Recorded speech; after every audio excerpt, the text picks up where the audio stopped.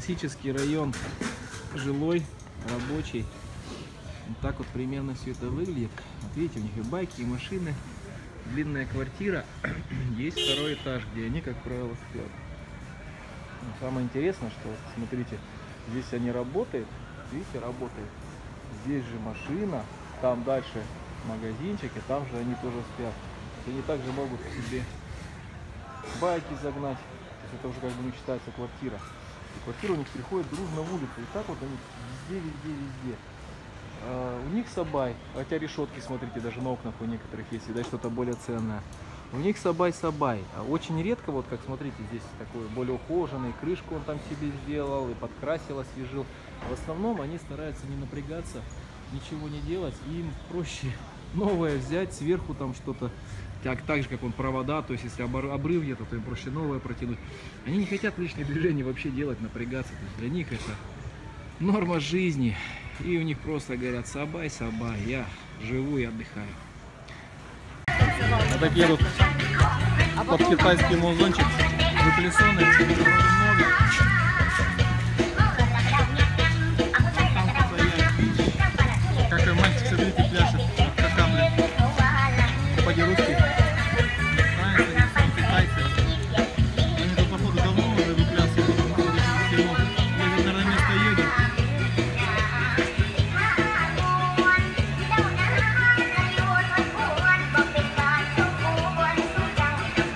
Запомнили движение?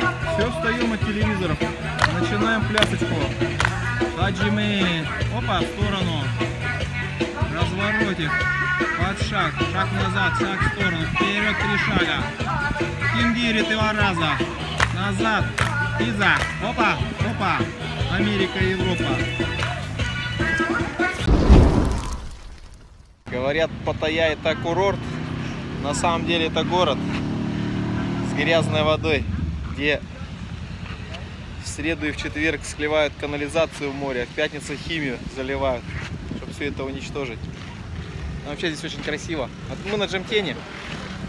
Раньше здесь на Джемтене было как-то не очень, а сейчас настроили, красиво стало, хорошо.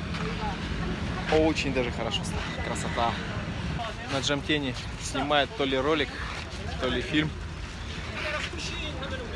Только остановились, сразу подставляют зонтик, снимают клип, видать, или рекламу роликов. Не разрешают снимать на камеру, сразу выгоняют. Забавные такие, на тележке горцуют. Ай, в общем, прикол. Куда-то поехали там за четвертую линию, за пятую кататься по Паттайе. Огромное черное здание, 79. Везде цифра 79. Китайцев.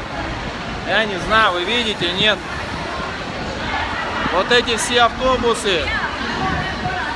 Автобусы, вот вся парковка туда. В общем, э, секси-шоу. Китайцы-развратники. Э, китаян какая-то подходит и что-то про секс там начинает на китайском. Причем не на английском, на китайском. Мы так сначала насторожились, но все равно скажем, там проверим. Елки, ну реально секси-шоу. 1500 бат, понятия не имею, что там. Ну, в общем, они вон даже с детьми ездят. Видать, там огонь, жесть и все приключения. Ну вот, электрички подходят, подходят и подходят. И говорю, и, ну, тысячи китайцев, ребят, тут тысячи китайцев. А это уже фестиваль. Ну, вот считается такой более туристический магазин. Здесь цены чуть-чуть повыше, а где-то что-то и не очень чуть-чуть повыше. Много этажей. Много-много этажей разные тоже тематики. С первого этажа, с подвального мы уже поделили. А, самый подвал там стоянка трехэтажная.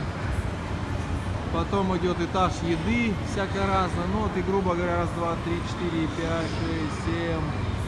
Где-то 10, наверное, этажей тут всего. Это фестиваль.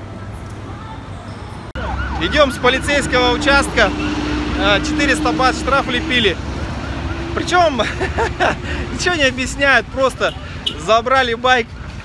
И пишет что-то стоит, пишет, спрашивает, что случилось, шлем на месте, страховка на месте, там копия это.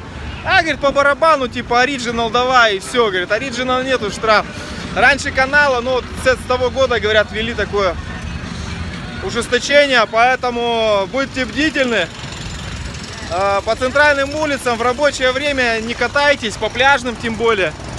Мы как-то сюда обычно не заезжали, но тут вдруг заехали и сразу на 800 рублей взгрелись. Ну как-то так смешно, все весело. Думали на 500, а нам сказали 400, ну 100 бац сэкономили. И то хорошо, с улыбкой на лице дальше в бой. Сейчас идем забирать байк у полицейских. Шлепа где-то два квартала. На улице градусов 35. Класс. За спиной море. Рядом заешки. И сумасшедшая жизнь.